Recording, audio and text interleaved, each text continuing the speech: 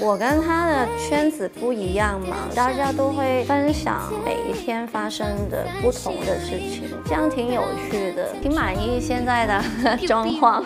我跟一个人谈恋爱，我不会觉得很浪费时间。我每一次谈恋爱，我都是很长的。姐姐好清醒呀！她的双重奏开播，阿萨首发畅聊感情观，称不觉得恋爱浪费时间，还说只有爱两个人很难在一起，也不能选那些无聊的人，要选会沟通的、很用心的。